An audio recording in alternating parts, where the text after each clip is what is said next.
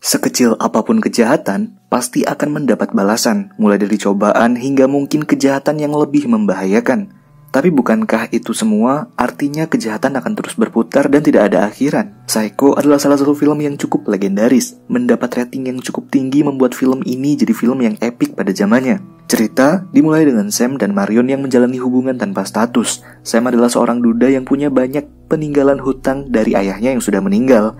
Ia juga harus membayar tunjangan mantan istrinya setiap bulan sampai dengan mantan istrinya mendapatkan suami baru.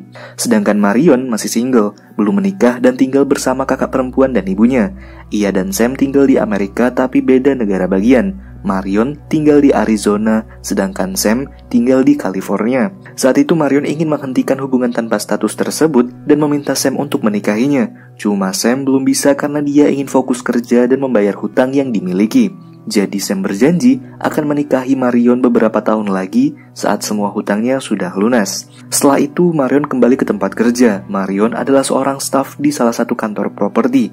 Ia sudah bekerja selama 10 tahun dan menjadi anak karyawan kepercayaan. Di kantor tersebut, kepalanya tiba-tiba jadi sedikit pusing, tapi ia masih memaksa untuk bekerja. Namun tak lama bosnya Marion yang bernama Mr. George datang ke kantor bersama dengan Mr. Cassidy untuk mengurus pembelian properti. Jadi, Mr. Cassidy adalah orang kaya yang ingin membeli rumah untuk hadiah ulang tahun anaknya, dan ia membayar cash ke Marion senilai 40 ribu dolar. Awalnya Mr. George menolak dan sebaiknya menggunakan cek saja. Cuma Mr. Cassidy percaya dengan Marion, jadi saat ini Marion memegang uang kantor pembelian properti sebanyak 40 ribu dolar. Film ini latarnya tahun 1950-an, jadi uang tersebut nilainya sangat tinggi. Setelah itu dengan alasan sakit kepala, Marion izin pulang duluan dan akan segera ke bank untuk menaruh semua uang cash yang ada di tangannya. Cuma bukannya ke bank, Marion malah membawa uang tersebut ke rumah. Dia juga mengemas seluruh pakaiannya dalam koper. Dengan mengendarai mobil, Marion lalu pergi. Namun ketika di jalan, ia bertemu dengan bosnya, Mr. George. Dan untungnya, Mr. George belum menyadari. Perjalanan Marion ini cukup panjang, dari berangkat pagi sampai malam dia terus di mobil berkendara. Hingga ia berhenti di tepi jalan untuk beristirahat. Dan pada pagi harinya ada polisi berpatroli yang datang. Marion yang membawa uang kantor 40 ribu dolar tentu saja panik. Dengan alasan terburu-buru, Marion izin untuk melanjutkan perjalanannya. Mobil kini kembali melaju dan polisi mengikutinya dari belakang. Semakin merasa takut akan ketahuan jika ia mencuri, saat polisi sudah tidak mengikutinya, Marion segera pergi ke tempat jual beli mobil. Sambil memilih mobil, ia membeli sebuah koran dan membaca informasi apakah dirinya masuk ke dalam berita atau tidak. Dan untung saja ia tidak menemukan dirinya dalam berita koran. Di sana ternyata polisi masih mengikutinya, jadi Marion ini ingin menukar mobilnya dan ia menemukan mobil baru dengan menambah uang 700 dolar. Tanpa bernegosiasi, ia menyetujui hal tersebut yang membuat penjual menjadi curiga. Marion lalu pergi ke kamar mandi untuk mengambil uang 700 dolarnya dan setelah itu langsung dibayar cash ke penjual mobil. Awalnya penjual bertanya-tanya, namun dengan alasan terburu-buru, akhirnya Marion bisa membawa mobil barunya. Perjalanan kini dilanjutkan dan jarak perjalanan itu memakan waktu yang tidak sebentar sampai malam kembali menjelang. Namun hujan deras mengganggu perjalanannya. Takut tidak bisa fokus, Marion lalu mampir ke hotel terdekat yang dia lewati. Penginapan tersebut bernama Bates Motel dan cukup sepi. Ia lalu melihat melihat ke belakang motel, ada rumah yang kemungkinan besar adalah rumah pemilik motel. Setelah melihat ada seorang wanita di jendela, Marion segera menekan klakson mobilnya untuk memanggil petugas hotel. Jadi, motel tersebut ada 12 kamar yang semuanya kosong. Di sini Marion memasukkan data pribadinya menjadi Marin Samuel dan tinggal di Los Angeles. Samuels adalah nama Sam orang yang dicintainya. Tujuannya memalsukan identitas agar dirinya tidak ketahuan polisi pernah berada di penginapan tersebut. Kemudian si petugas memberikannya kamar nomor satu yang paling dekat dengan ruangan kantor untuk Marion. Penjaga motel tersebut bernama Norman Bates. Dan setelah mengantarkan semua barang-barang milik Marion, Norman menawarkan Marion untuk makan bersama. Setelah itu, Marion mengatur barang-barangnya. Ia menyembunyikan uang puluhan ribu dolar yang tersisa ke dalam koran yang tadi dibelinya. Setelah itu, menaruhnya di atas meja.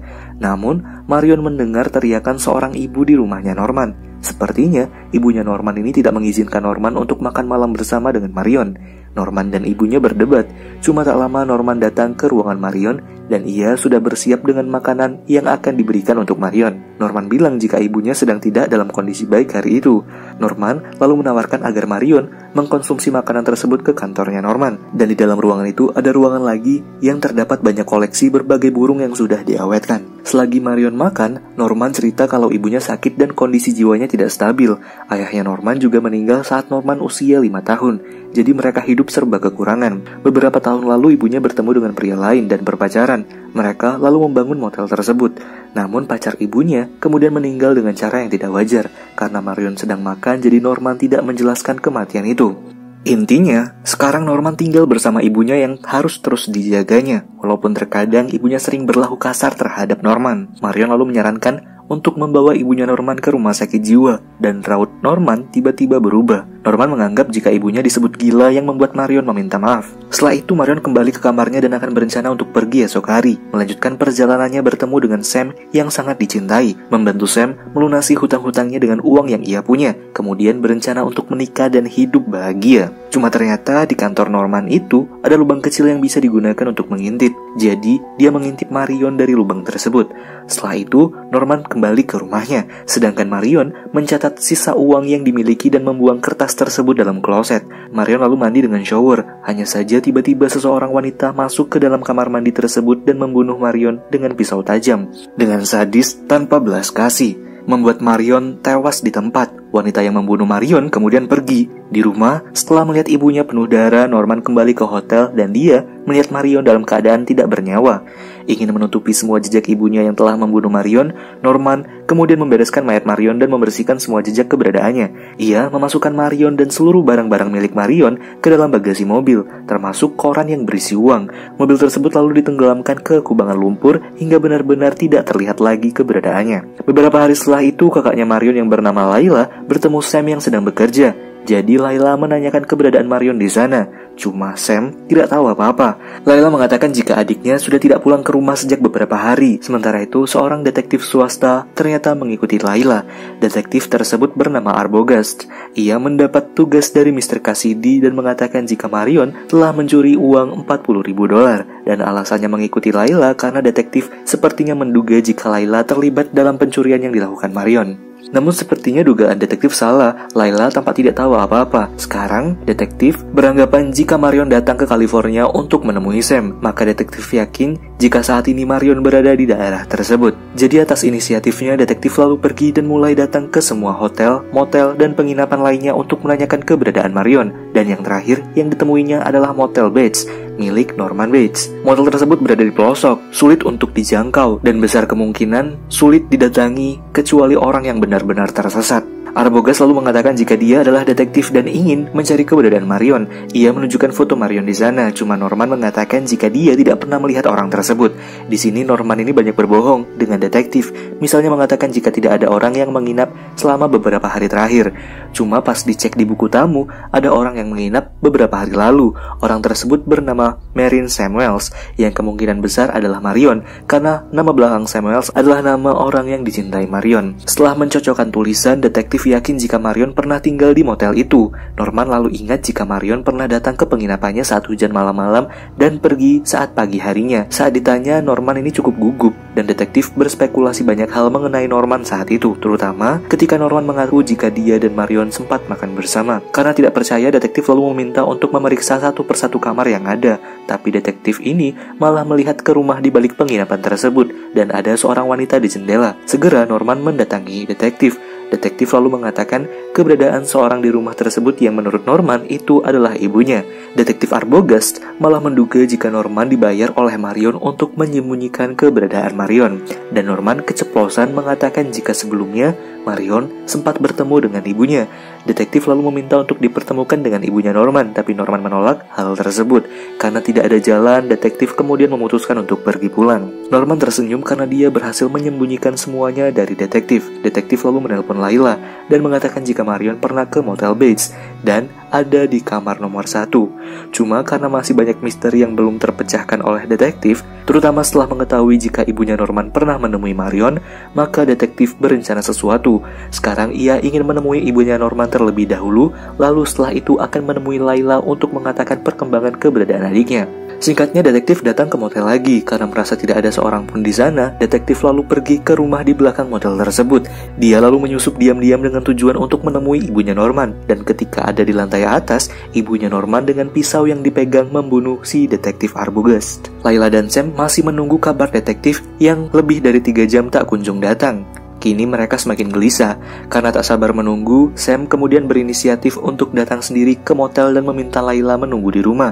Sampai di sana, tidak nampak sama sekali kehadiran Arbogast, yang saat itu Norman sedang menguburkan mobil detektif ke kubangan lumpur. Karena tidak mendapat apa-apa, Sam kembali ke Laila. Di sana dia bercerita jika ada wanita tua yang sakit yang tidak bisa membuka pintu untuknya. Jadi mereka mendatangi sheriff yang ada di sekitar tempat tersebut. Mereka mengatakan kepada sheriff jika mereka telah kehilangan jejak detektif Arbogast di Motel Bates saat ingin menemui Nyonya Bates. Namun sheriff dan istrinya ini cukup terkejut. Mereka malah menduga jika Nyonya Bates ini adalah istrinya Norman. Jadi, Laila mengatakan jika kehadiran mereka sebenarnya untuk mencari keberadaan adiknya, Marion, yang diketahui detektif Arbogast berada di Motel Bates. Kaburnya Marion karena telah mengambil uang 40 ribu dolar milik Mr. Cassidy. Jadi, Mr. Cassidy meminta pertolongan detektif swasta untuk mencari keberadaan Marion karena menurut Mr. Cassidy jika polisi negara yang bertindak mereka takut uangnya malah akan diambil polisi. Sheriff menduga jika detektif Arbogas sudah menemukan uangnya dan lari karena uang dengan nominal besar tersebut tentu saja akan membutakan mata setiap orang yang melihatnya. Masih tidak percaya, sebagai permintaan terakhirnya Laila lalu meminta Sheriff untuk menelpon Norman. Saat ditelepon Norman ini bilang jika detektif Arbogas sudah pergi. Hanya itu yang mereka dapatkan. Laila kemudian mengatakan jika detektif Arbogast sebelumnya menelpon dan bilang jika ingin menemui ibunya Norman. Nah, di sini sheriff dan istrinya mengungkap jika ibunya Norman sudah meninggal dan dikubur 10 tahun yang lalu. Ibunya ini membunuh pacarnya dan kemudian bunuh diri dengan racun. Sam jadi bingung karena sebelumnya ia sempat ke motel dan melihat ada wanita yang duduk di jendela. Begitupun Arbogas yang datang juga mengatakan hal yang sama jika ia melihat ibunya Norman yang ada di rumah dengan kondisi sakit. Sheriff lalu balik bertanya jika ibunya Norman ada di rumah, jadi yang dikubur 10 tahun yang lalu itu siapa? Di sisi lain, setelah mendapat telepon dari sheriff, Norman balik ke rumah. Ia lalu masuk ke kamar ibunya dan terjadi perdebatan di sana. Untuk menyelamatkan ibunya, Norman memaksa ibunya untuk pindah ke ruang bawah tanah untuk sementara waktu. Tapi karena tidak mau, Norman lalu menggendong paksa ibunya dan memindahkannya ke ruang bawah tanah. Beberapa hari selanjutnya, Sam dan Layla menemui sheriff dan istrinya di gereja. Sheriff ini sudah melakukan kunjungan ke Motel Bates dan tidak menemukan perempuan siapa pun di sana dan menduga jika apa yang dilihat Sam adalah ilusi semata. Karena tidak puas dengan apa yang dilaporkan oleh sheriff, Laila dan Sam lalu berencana untuk datang ke motel dan berpura-pura sebagai pasangan suami istri. Dan mereka bertemu dengan Norman dan memesan kamar untuk semalam. Tapi di sini sistem hotel Norman ini cukup aneh. Sam kan sering ke hotel, Seharusnya ada invoice atau kwitansi pembayaran terlebih dahulu, dan setelah itu mereka masuk ke ruangan yang cukup jauh dari kantor utama. Di kamar, Laila menduga jika Norman adalah orang yang mengambil 40 ribu dolar dari Marion. Mereka kemudian berencana untuk masuk ke dalam ruang nomor satu, tempat kamar Marion saat di hotel itu. Setelah saya memeriksa keberadaan Norman yang saat itu tidak ada di kantornya, mereka lalu masuk ke kamar nomor satu, mencari keberadaan uang milik Marion. Yang ditemukan mereka hanyalah potongan secari kertas yang cukup kecil di dekat kloset dengan angka 40 ribu berada di sana, yang membuktikan jika Marion pernah ada di kamar tersebut, dan bisa jadi juga Norman mengetahui keberadaan uang itu. Jadi Laila berencana untuk menemui ibunya Norman untuk mendapatkan informasi lebih lanjut dan yang mereka katakan sebelum mengeksekusi rencananya adalah salah satu dari mereka harus selamat. Ketika keluar dari ruangan nomor satu, ternyata ada Norman di kantornya dan Laila segera pergi ke rumah Norman. Selagi Laila masuk ke dalam rumah, Sam ngobrol dengan Norman di kantor untuk mengalihkan perhatian. Rumah tua tersebut cukup besar namun tampak sepi dan kosong. Sedikit takut mau tidak mau Laila masuk untuk mendapatkan kejelasan. Menelusuri setiap celah dalam ruangan tersebut, tampaknya tidak terlihat ada tanda-tanda kehadiran makhluk hidup di sana. Kecuali banyak baju yang tersusun rapi milik ibunya Norman. Ia mencoba masuk ke ruangan lain, Sementara itu, di kantor, Sam dan Norman berdebat. Sam yang tidak sabar segera menuduh Norman mengambil uang 40 ribu dolar milik Marion. Dan menurutnya, uang tersebut sekarang ada di ibunya Norman. Sadar Norman jadi tahu jika Laila sekarang ada di rumahnya. Jadi Sam dan Norman berkelahi. Norman memukul kepala Sam yang membuatnya tidak sadarkan diri dan segera pergi ke rumahnya untuk menyelamatkan ibunya.